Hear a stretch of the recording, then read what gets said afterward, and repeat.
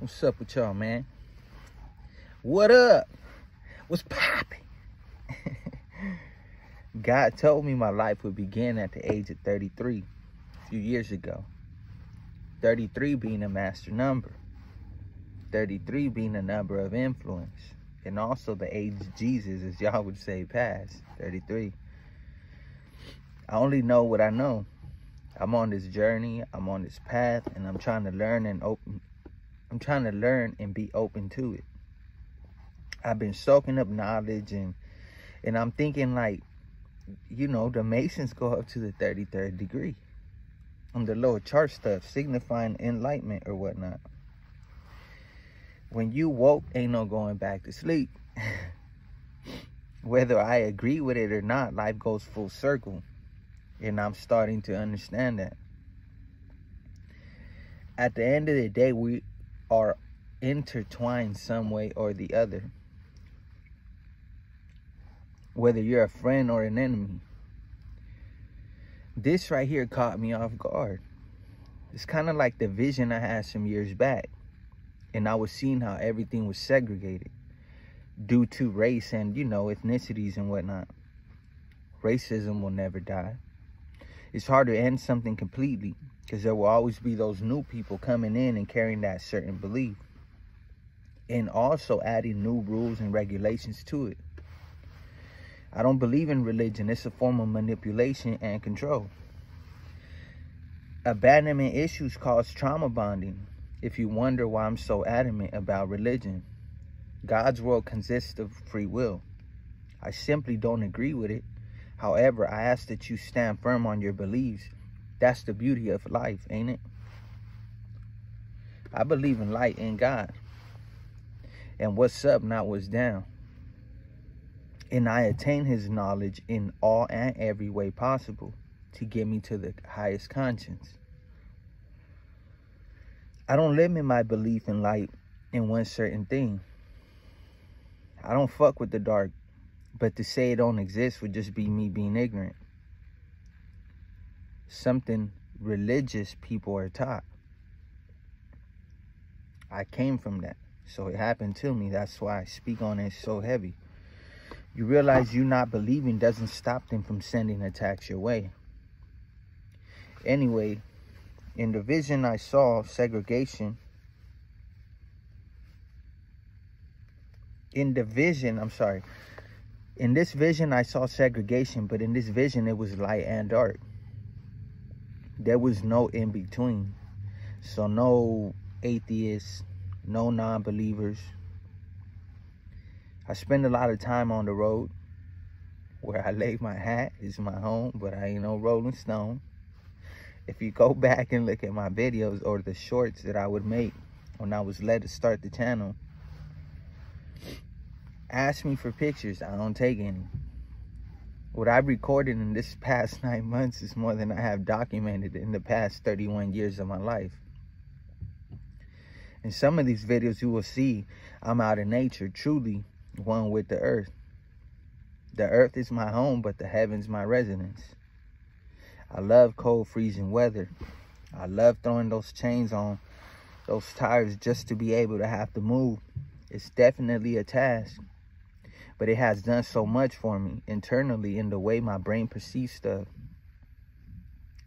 In cold temperatures, water will begin to freeze at 32 degrees. If it goes up 1 to 33 degrees, the ice will start to melt. I get the image of water flowing like the ace of cups card, like that overflow, right? The water be overflowing.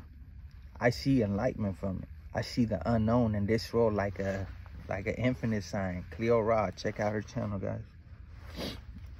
Like an infinite sign in my mind's eye. What's the number 33 mean? Secret societies aim and strive to hit that 33rd level. This shit fucking me up today. The 33rd level symbolizes enlightenment. 33 is also a number of influence. God told me my life would start at 33. I'm 32. And the universe is working with me, opening doors and pathways for me. What a trip. If I told you about my life, you would see why they want to kill me. why they've been trying to kill me. Not just physically now, but spiritually as well. Which to me is more dangerous the way I'm living. Like I'm a spiritual being, so I know what hey shit happens in the spirit before the shit comes here. So ain't no one worried about this 3D petty Eddie stuff. The constant attacks and work they continually continuously do on me. As you can see, God, the universe, my squad holds me back, it holds me back and holds me down. It's not working. It's not going to work. It never will work. It's Kismet with me. Kismet, do your research. K-I-S-M-E-T. I mean, call itself snitching. Because 33, life path, number. Okay, okay. Let's scratch that. I'm wrong. I'm wrong. I want to correct.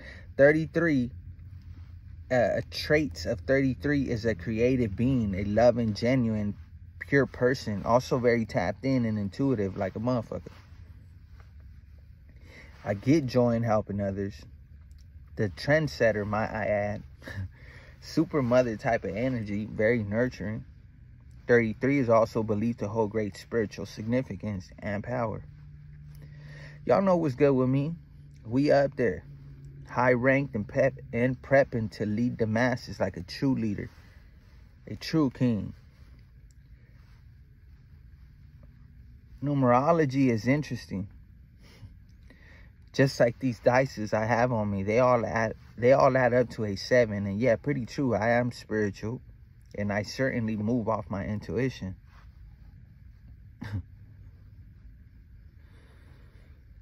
I I just, I just literally saw 3 plus 6 equals 9. Hmm. Yeah.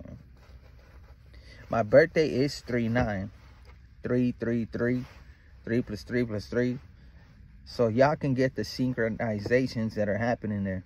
The number of deities in the Vedic religion is 33. The second level of heaven in Buddhism, meaning of the 33 gods. Buddha also tattooed on me. So, like my tattoos have predicted my future. I'm not lying to you. Albert Einstein life path number was 33. So was Thomas Edison. Need I say more? oh my God. Like I'm having tower moments in my brain right now, y'all. This shit crazy. I love you guys.